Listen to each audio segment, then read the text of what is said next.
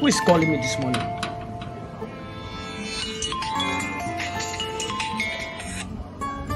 Hello, Sabinus. Good morning. Good morning. Good morning. Sabinus, you know you are my best friend, but I don't like what you just said.